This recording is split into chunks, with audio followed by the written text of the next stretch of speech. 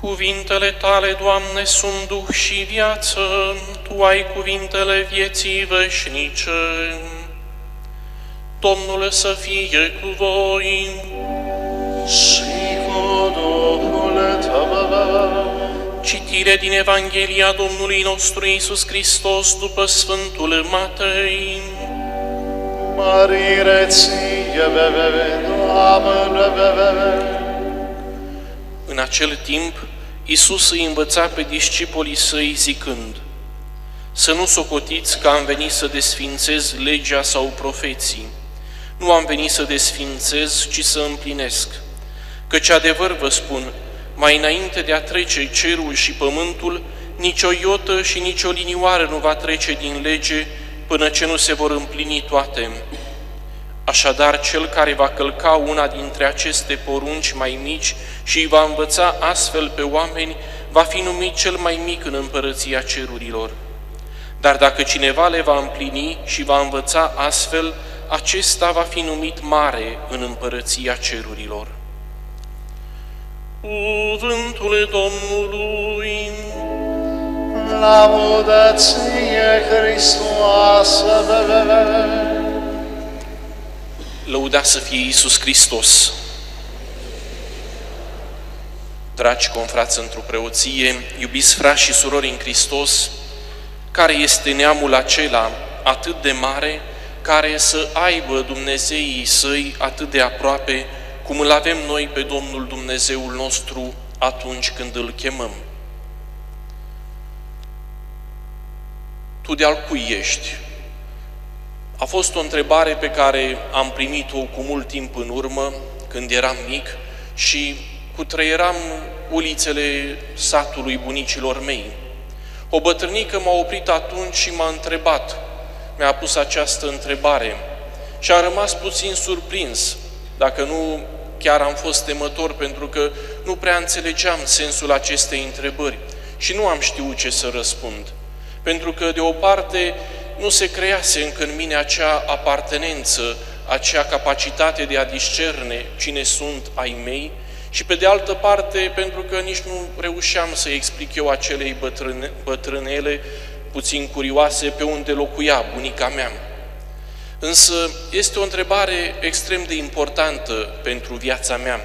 O întrebare la care nu pot să încetez să răspund vreodată, pentru că fiecare om și mai ales fiecare creștin trebuie să fie conștient al cui este.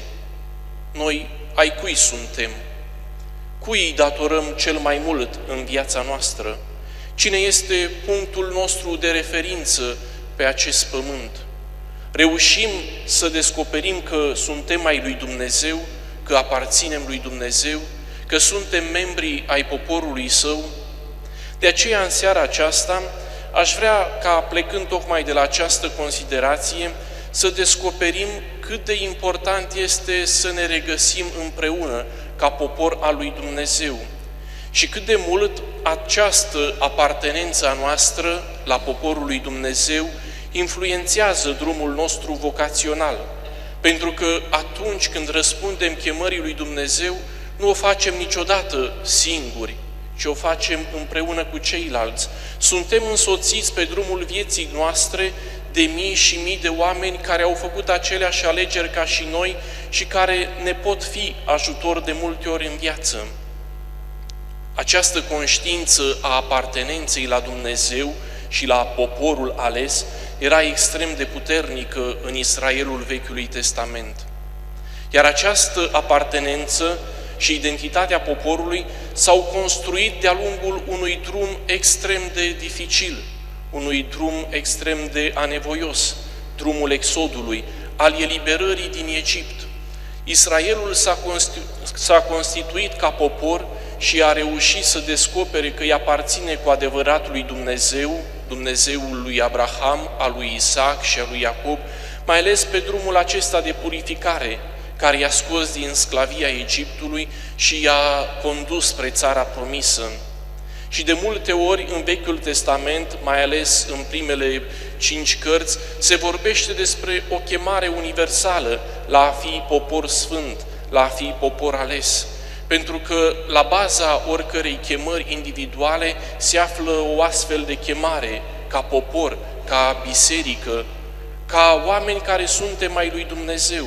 Și cred că este prima învățătură pe care trebuie să o luăm noi astăzi pentru sufletul nostru, mai ales în contextul în care atât de multe ori ne refugiem în individualismul nostru și refuzăm parcă să trăim în mod comunitar vocația noastră, mai ales în acest context în care prevalează atât de mult dorința noastră de autorealizare în detrimentul atenției față de frații noștri și față de drumul pe care trebuie să îl parcurgem împreună. Este important să descoperim că împreună suntem chemați de Dumnezeu, pentru că altfel riscăm să fim oameni nomazi, oameni singuri, oameni care petrec acest drum al vieții pământești asemenea unor naufragiați în căutarea insulei fericirii și riscăm să nu o găsim niciodată. Și care este rezultatul unui astfel de comportament sau al unei îndepărtări de nucleul poporului lui Dumnezeu, putem să vedem foarte ușor astăzi oamenii pe care îi putem numi fără vocație sau creștini fără chemare, adică acei oameni care se îndepărtează atât de Dumnezeu cât și de semenii lor. Și această îndepărtare și din această îndepărtare se naște un pericol deosebit, acela de a trăi singuri, de a refuza orice relație autentică cu celălalt, cu omul sau cu Dumnezeu. Și astfel riscăm să avem repercusiuni dramatice, mai ales pe plan interior, pe plan psihologic, pentru că cine nu se simte chemat de nimeni, cine nu este iubit de nimeni, cine nu contează, nu valorează nimic în ochii nimănui, ce sens are să mai trăiască pe acest pământ? Și cei mai afectați de, acest, de această boală sunt tinerii, pentru că ei nu reușesc să parcurgă de multe ori acest drum al apartenenței la biserică, la comunitatea credincioșilor. De multe ori trăiesc izolați, încearcă să-și caute propriul lor drum, însă independent de comunitate. Și atunci se nasc astfel de tragedii al, a negăsirii drumului vocațional pe care Dumnezeu ni l-a oferit nouă tuturor. Însă cu siguranță că nu ei sunt vinovați pentru acest lucru. Nu tinerii sunt cei care sunt vinovați că nu reușesc să își dezvolte chemarea lui Dumnezeu, cât mai ales societatea în care trăim și care promovează o cultură care de deseori se numește tinerească și face din tinerețe un mit, o vârstă de dorit la, în oricare anotimp al vieții, o vârstă pe care dorim să o avem chiar și atunci când îmbătrânim. Și aici iar cu repercusiuni grave, pentru că riscăm să nu mai fim adulți maturi. Însă, pe de altă parte, trăim într-o societate care nu oferă tinerilor posibilitățile de a se dezvolta, de a crește, de a-și găsi propriul loc și de a construi propriul mozaic vocațional, astfel încât să trăiască împliniți și fericiți. Și dacă vreți, trecând la un nivel superior, trăim într-o cultură antivocațională, la care am contribuit puțin cu toții, mai ales când am promovat în jurul nostru moduri de a trăi sau alegeri care au fost independente de Dumnezeu, alegeri în care nu s-a văzut deloc că facem parte dintr-un popor al lui Dumnezeu, cât mai ales am trăit în mod individualist chemarea noastră. Iată de ce astăzi trebuie să conștientizăm că drumul vocației noastre, drumul, drumul împlinirii noastre începe în comunitate.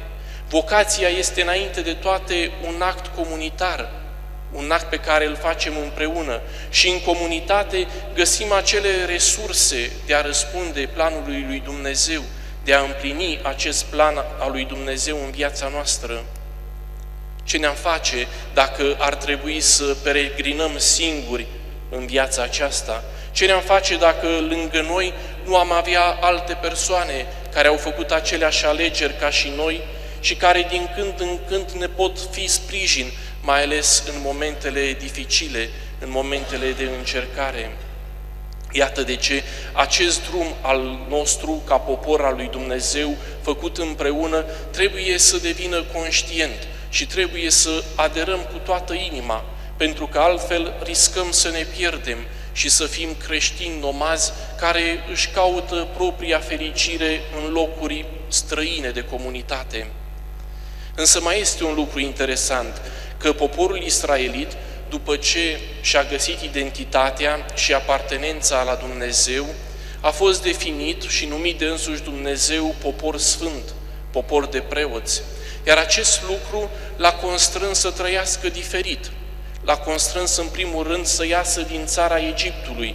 Din acest motiv, israeliții au ieșit din Egipt, pentru că acolo nu puteau să trăiască ca și popor. Erau negați în identitatea și în demnitatea lor de popor. Din acest motiv ei au primit cele zece porunci prin mâna lui Moise. Din acest motiv Israelul a avut propria liturgie, liturgie în care erau celebrate faptele minunate ale lui Dumnezeu, memorii care trebuiau să fie mereu vii în mintea poporului, pentru ca niciodată să nu se uite ceea ce a făcut Dumnezeu pentru acest popor. Iată de ce avem și o carte care adună rând pe rând istorii, istorii vocaționale, istorii ale mântuirii, pentru ca nimic să nu se uite din faptele minunate pe care Dumnezeu le-a realizat pe acest pământ. Și acest drum de eliberare al poporului israelit este și strada trasată pentru noi astăzi, pentru a trăi ca adevărat popor al lui Dumnezeu, pentru a ne găsi identitatea în, în biserică și pentru a descoperi că aparținem lui Dumnezeu. Și vă propun trei etape, trei etape extrem de importante, fără de care nu putem să simțim o astfel de apartenență. În primul rând, poporul israelit s-a eliberat de, uh, din sclavia Egiptului, de sub mâna lui Faraon. Și noi suntem chemați să facem același drum, să ne eliberăm din sclavia faraonilor moderni, care doresc să ne țină înlănțuiți și să ne transforme într-o turmă puțin inteligentă, care să consume tot ce li se oferă, fără a-și pune prea multe întrebări și fără a discerne cu propria inimă și cu propria rațiune.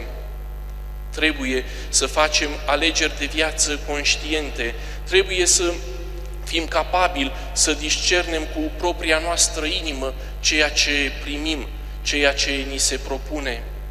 În al doilea rând, trebuie să fim conștienți că dacă suntem popor al lui Dumnezeu, trebuie să adoptăm un stil caracteristic de viață, caracteristic poporului lui Dumnezeu. Un stil care uh, trebuie să dea o amprentă particulară, o amprentă specială, atât vieții noastre, cât și relației noastre cu celălalt, atât suferinței, cât și corporeității noastre, atât uh, atitudinii noastre față de bunurile pământești și în modul, dar și modului în care folosim ceea ce Dumnezeu ne-a dat. Ba mai mult, suntem chemați ca noi să fim cei care fac astfel de alegeri încât să vorbim celor din jurul nostru și să le arătăm că a aparține lui Dumnezeu nu înseamnă a trăi într-un mod condiționat, cât mai ales a găsi propria libertate și autonomie. A fi, ai lui, a fi ai lui Dumnezeu înseamnă să reușim să găsim acea fericire pe care doar Dumnezeu poate să o conceapă pentru noi și apoi să dăm mărturie celorlalți despre viața noastră. Iar al treilea aspect pe care vreau să-l subliniez este participarea la liturgie. Așa cum poporul ales a avut o liturgie și noi suntem chemați ca prin participarea la liturgia bisericii, la rugăciune, să întărim în noi convingerea că suntem popor al lui Dumnezeu. Și nu o participare doar de dragul poruncilor lui Dumnezeu, doar pentru a împlini prescrierile sale, cât mai ales pentru că acum, ca și atunci, Dumnezeu acționează cu brațul său puternic și lucrează prin astfel de momente de har. A participa la liturgie, a participa la riturile sacre, înseamnă să lăsăm pe Dumnezeu să vorbească inimii noastre, înseamnă să intrăm într-o relație personală cu Dumnezeu, o relație plină de mister, dar și de adevăr, o relație provocantă și provocatoare, o relație în care simțim chemarea lui Dumnezeu și suntem capabili să răspundem prin cuvântul omenesc.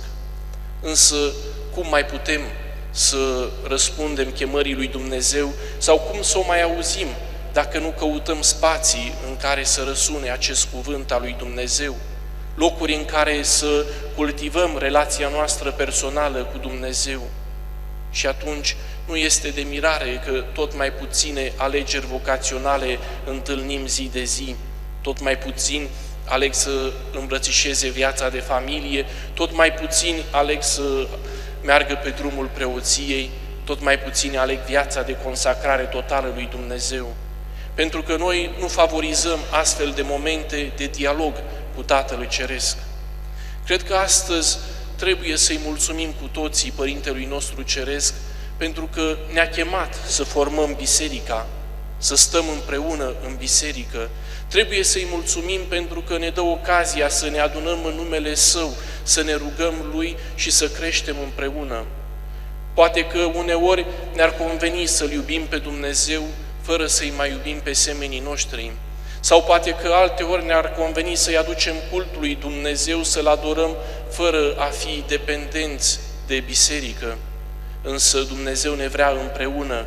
Ne vrea împreună nu doar pentru a ne simți mai bine, cât mai ales pentru a fi mai puternici și pentru a avea certitudinea că suntem în adevăr. Trebuie să găsim momente în viața noastră în care să stăm față în față cu Dumnezeu, iar în acele momente să redescoperim apartenența noastră la Dumnezeu, împreună cu El să deslușim șoaptele și susurile vieții, pentru ca să putem să răspundem cu adevărat chemării noastre și să cântăm împreună lauda care îi se cuvine celui care ne-a creat.